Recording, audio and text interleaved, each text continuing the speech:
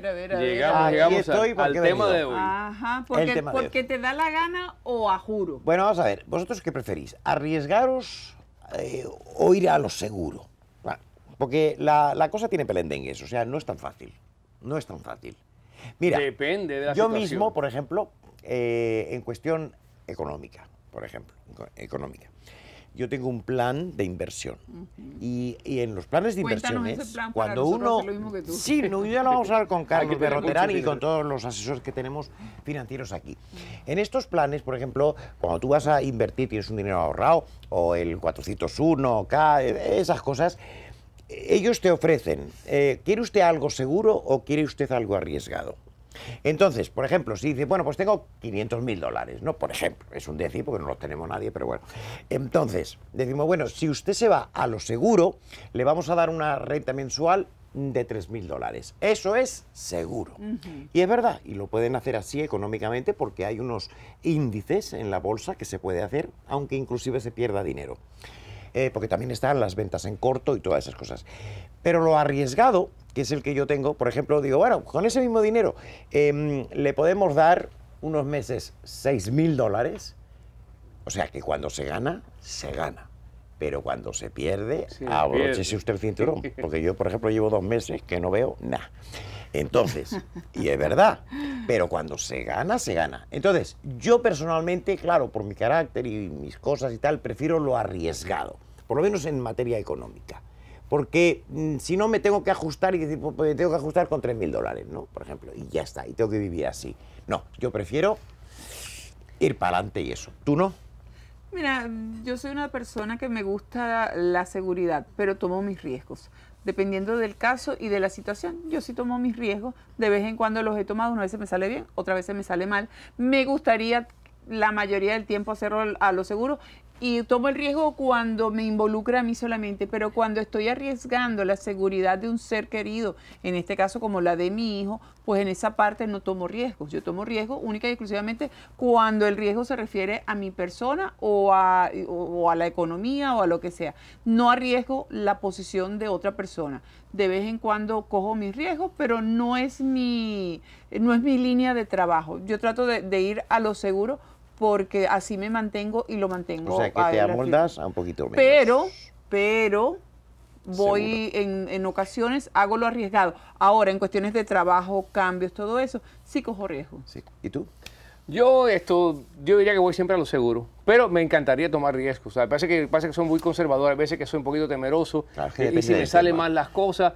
Claro. Pero por ejemplo, una persona que quiere empezar un negocio, si no se arriesga y lo empieza, Exacto. nunca sabe si le va a ir bien o no. A lo mejor le va súper bien y se convierte en una persona súper exitosa. Bueno, pero también hay que también tener, puede fracasar. Hay que arriesgarse, pero sabiendo un poco, ¿eh? Porque, por ejemplo, voy a poner un negocio y voy a poner un, un restaurante en la calle de los restaurantes, donde, no sé. Donde hay 50 ¿eh? restaurantes o voy a poner un restaurante en el desierto donde no va nadie. O sea, hay que hacer estudios, hay que, hay que informarse bien Claro. eh, qué es lo que necesita esa ciudad o tal barrio o tal calle para uno. Porque, claro, eh, si vas a poner un negocio de bicicletas en el Polo Norte, pues a lo mejor.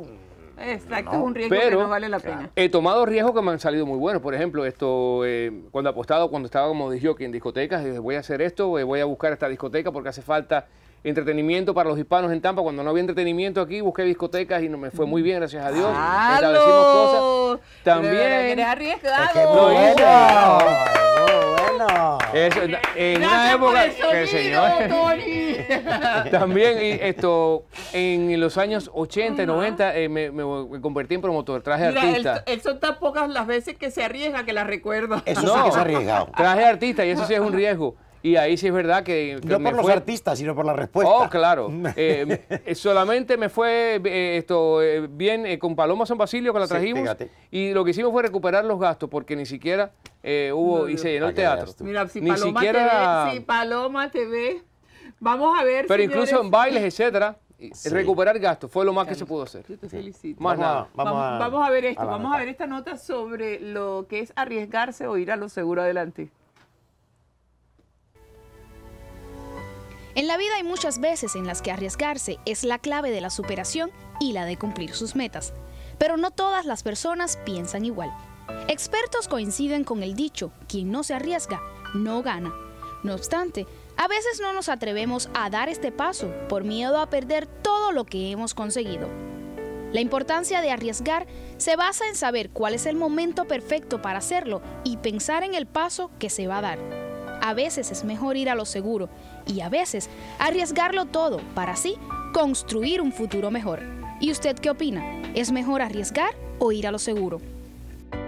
Bueno, claro, es que arriesgarse, eh, perdón, ir a lo seguro es una vida demasiado cómoda, no tiene aventura. Si tú no te arriesgas en el amor, hay mucha gente que yo ya no me vuelvo a enamorar porque he sufrido como. No, hay que arriesgarse, porque es que si no la vida es aburridísima. es otro, otro punto, ¿verdad? Bueno, en el amor es... En el- claro, es que arriesgarse no es solamente económicamente. Yo he empezado con ese tema a hablar para que Sí, em, pero está en encauzar en donde nos estamos moviendo, ¿no? Y yo en esos terrenos, pues sí, me gusta.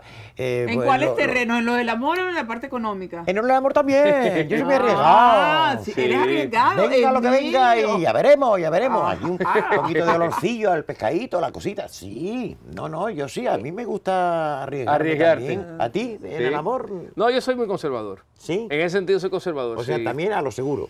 A lo seguro. Ahí lo sí, más o ¿Y menos lo seguro. Yo me En arriesgo. otras cosas me he arriesgado, pero en esa parte, en esa- Clarita, yo en tenemos esas mucho en común, visto que la gente dice que discutimos mucho, pero no es Sí. así. Ustedes van a terminar juntos. No, No, no. hay Tú y Clara que- van a terminar juntos. Ya, será yo llevándole Me la matan. bombona de oxígeno a él o él a Me mí. matan, me Exactamente, matan. y con el violín ahí, ah, para que imagínate. Qué Sí, cosa. Bueno, Vamos a la calle, Vamos, a la calle. Vamos a preguntar. Vámonos para la calle.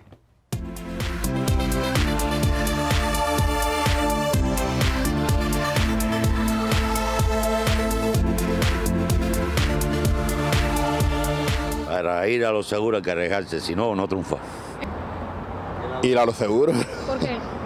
Ay, porque que te arriesga nunca llega. Porque lo seguro ya tú sabes lo que es y el arriesgo nunca sabe uno lo que va a pasar. Algo seguro. Bueno, ir a lo seguro. ¿Por qué? Pues bueno, porque estás más segura. Prefiero ir a lo seguro. O sea, Ahí está, ahí a lo seguro. conservadora A lo en seguro. general. Y después votan a lo rojo. O sea, eso es lo que yo no entiendo. Gente conservadora y sin embargo, nada que ver con catapult. el voto, Pero tiene que ver con- Obama. Emilio, Emilio, No, no, no, no, no, no, no, no. olvídate de Obama. Es que, no, eh, no, no, si yo no estoy hablando no de Obama. nada No estoy hablando de contra Obama. usted No, o su no, no, familia. no, no, no. No, Pero digo una cosa. saludos a la Casa Blanca. En, en estos temas, ¿no? Es, es arriesgarse, también políticamente, porque claro, uno vota a alguien y de repente Mira le sale, rama, le sale rana. Sí, o sea, exacto. no. Pero yo digo, la gente en general es conservadora. O sea, es un poco como tú en el aspecto de que. eh, Cuidadosa. eh, claro, son cuidadosos y decir, bueno, pues prefiero tres a los posibles seis, ¿no? Que es lo que yo he arriesgado. Por Más, ejemplo. más vale pájaro en mano que cien volando. Eso te iba a volando, pre- eso te iba a decir el Entonces, dicho sí, ese, eso es exactamente. Mira, eso es perfecto, eh, precisamente. Entonces, eh, pero yo no, yo sigo pensando que el riesgo siempre es lo mejor. Si Cristóbal Colón no se hubiera arriesgado, jamás hubiera sido Exacto. descubierto América, por lo menos en aquellos tiempos, y el avance se hubiera parado. ¿Comprendes? O sea, con todos los inconvenientes y con todas las cosas. Pero, pero yo sí prefiero, prefiero porque eh, es como también el que va al casino, ¿no? Eh, si no te gastas un dinero, pues no vas a ganar nada. Mm, Como ese señor que, Señor, Dios mío, que me toque la lotería. Bueno, sí, le dice Dios, pero gástate Pero el dinero y compra un billete, ¿no? Por lo menos, porque claro, si no, no te puede tocar la lotería. Hay que arriesgarse. Y en el amor, hay que arriesgarse en la comida. Mira, a mí la comida india no me gustaba. Un día tuve que ir con un amigo mío a un restaurante. gustó ahí no, no, no, fue. la comida, la comida, la comida. Ah, ok. Entonces, y, y fui aquí a un restaurante indio, aquí en San Petersburg, y oye, me encantó. Me encantó esa, eh, eh, sí, eh, esa, ese sabor mm, Las tan especies. sour, ¿cómo se dice? Tan sour. Agridulce. Eso, tan agridulce y tan eso. O sea, hay que arriesgarse a las cosas. Y en el amor también. ¿Por qué en el amor no? Mucha gente está destrozada. Se quedan destrozados porque, ay, porque le he querido tanto, porque fíjate, porque lo que he sufrido. Pues la vida, ¿quién ha dicho que es fácil? En esta vida hay que sufrir. Mira los animales salvajes y todo eso. Es un sufrimiento todos los días, es un riesgo. Se los pueden comer. Sí, pero ellos o no analizan comer. en la mañana, me voy a arriesgar o no. Ellos, ellos tienen una vida continua. que Pero ellos se no saben si es un arriesgan. ries- pero ellos no lo saben. Nosotros, Bueno, como claro, gente, como claro. racionales que somos, como animales racionales que somos, sí sabemos si hay seguridad o si, o si lo que vamos a hacer ahora es un riesgo. ¿Tú te imaginas gente que ha perdido todo? Porque simplemente tomaron un riesgo también y poner en riesgo la seguridad de la Mira el familia, millonario la salud Trump, de la familia. por ejemplo. Bueno, el pero señor no, Trump. tiene suficiente no, no, dinero no, para, no, no. para invertir, para hacer No, lo que- no, no, para no, no. arriesgarse lo que Un quiera. momento. El señor Trump, y tiene toda mi admiración, ha creado toda esa fortuna en base a una bancarrota.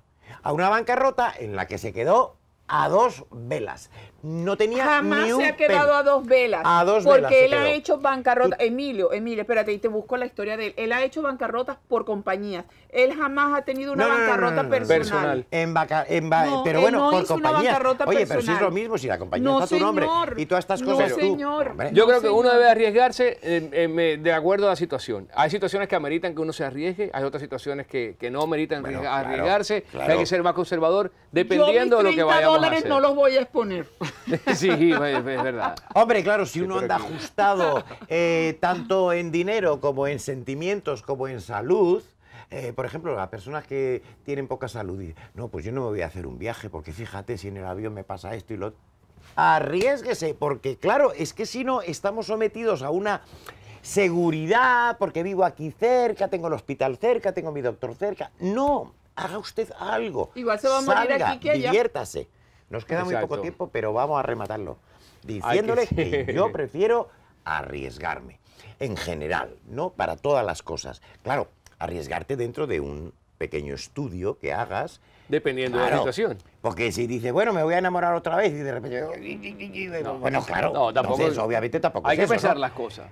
Pero que uno pueda mm, elegir y, y tener su pelín de riesgo y de sabor a la vida, eso es muy bueno. Bueno, Mañana, ¿qué dependiendo de tenemos? las situaciones, Sí. dependiendo de las situaciones, usted, usted eh, analice cuál es su situación, analice cuál es su situación y usted tome la decisión Claro. si se va a arriesgar o no y qué es lo que va a arriesgar, si esto realmente lo va a perjudicar, lo va a favorecer y si lo puede hacer bien y si no, pues Sí. quédese como está porque Edúquese. realmente nadie lo está empujando. Si va a arriesgarse, edúquese antes de hacerlo. a- Averigüe bien lo que va a hacer antes de, de hacerlo. Mañana no vamos a tener un programa muy bueno. Vamos a tener Viernes eh, Santo. a Hollywood en acción, Mariotzi. y- Eh, el y tal. mensaje del padre Carlos Alberto para mañana, Viernes También. Santo, que es muy importante. No así se que no pueden se lo vaya a perder. perder porque mañana es el día en que muere el Señor, a las señor. 3 de la tarde. Y vamos, que- eh, sí, y en aclarando el tema vamos a estar eh, dilucidando un poco las verdaderas razones, ra- eh, razones por las que Jesucristo eh, murió. A Emilio me va a acompañar y también Carlos José, porque vamos a estar hablando un poco de lo que es el verdadero significado del Viernes Santo. En la Y radio, también ¿no? tendremos ¿Aquí? eh, aquí, Ah, no. aquí, y tendremos también eh, estos horarios de algunos de los eventos importantes que se van a llevar a cabo en diferentes iglesias para que esté al tanto de lo que Sí, estamos porque además mañana hay que eh, visitar realizando. templos y tal. Mañana no se hace misa, no se celebra misa. No Eh, hay- mañana es la oración a la Santa Cruz, exacto, y el Via Crucis, que van a haber varios. Mañana vamos a hablar acerca de la hora. de del todo. Señor. Hoy, esta noche a las 7 y 30, hay, hay misas eh, bilingües en, eh, en Encarnation, también en, En San También en la catedral. Y y, en la en San última. José, Sí. en las Y, son las últimas misas porque mañana no hay celebraciones Exactamente. eh, de misa ni sí, hay. Eucaristía. Hoy es la institución de la de Eucaristía. Vámonos. Hoy, hoy jueves. Que bueno, los queremos bye. mucho, Estar nos vemos mañana a las 7 de la mañana.